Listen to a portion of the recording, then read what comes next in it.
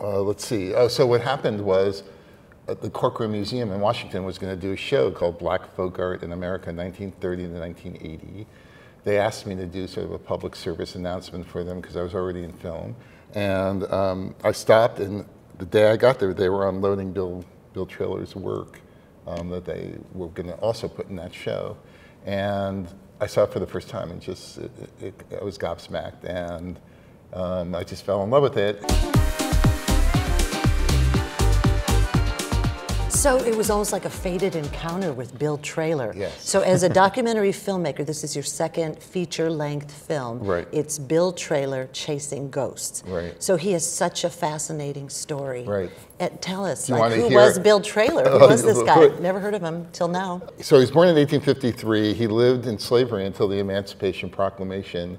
And then um, his family were sharecroppers, and he stayed on the plantation after emancipation for uh, almost 40 years until the people he knew at the plantation started to die off, and the children of those people were a little more difficult to work with. So he he ended up leaving the farm and going to Montgomery, where he worked for a few years until he was disabled and ended up homeless. So he ends up homeless and doesn't start painting until he's in his 80s? Yeah, 1939. So you, you do, do the math, and the only he only did it for a short amount of time, three or four years. But he was prolific in that yes. as well. When you think about it, if he did a thousand to 1500 drawings, he maybe was doing three a day or something. and what did he use? So he's homeless. What's, what's, what is his medium? What, Uh, so everything was done on found objects, baby Ruth cartons, um, other candy bars thrown out from the drugstore, or posters that he found lying around, or like the equivalent of shirt cardboard. But you know, it's like all of a sudden he found this creative spirit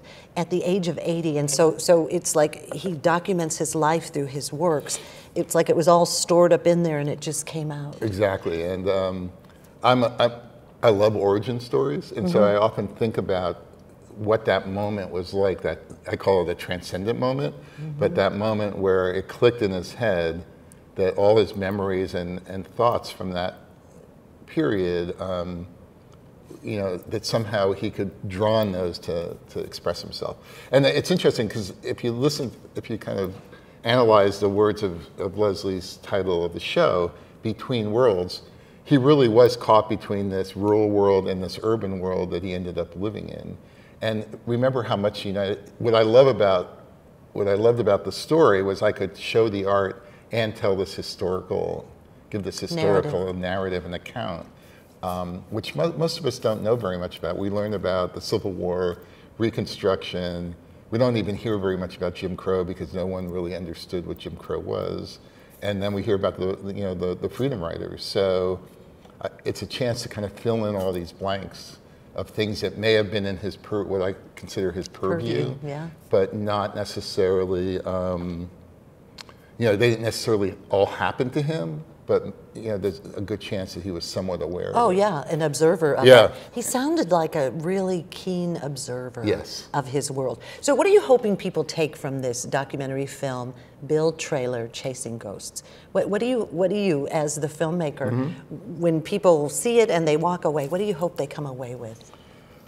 you know, here's somebody who left a footprint about his accomplishments, and that you know, and and and that's something that we should all be aspiring to is to leave a footprint in the sands of time, as as uh, Longfellow said, and. Um, so, so that's a big part of it, and then this whole idea of creation, you know, being creative and, and expressing yourself, and not being afraid to, you know, to uh, no matter what you think your talents are, to kind of express yourself in a creative way. I love that. Jeffrey Wolf, documentary filmmaker. The film is called Bill Traylor Chasing, Chasing Ghosts. Ghosts. For sure. Okay, now we always do this at the end of Okay. this. Um, if you could have coffee with anyone, living or dead, Mm-hmm. don't think too hard, who would it be? I would actually say Muhammad Ali. Oh, yeah? Well, you're in the right state. I know. For I know. sure. Well, because um, I, I like sports, and, and but I also like people who speak their mind, and I feel that uh, that he would actually be an interesting person to sit down with. Appreciate it. Love it. Cheers. Thank you, Jeffrey.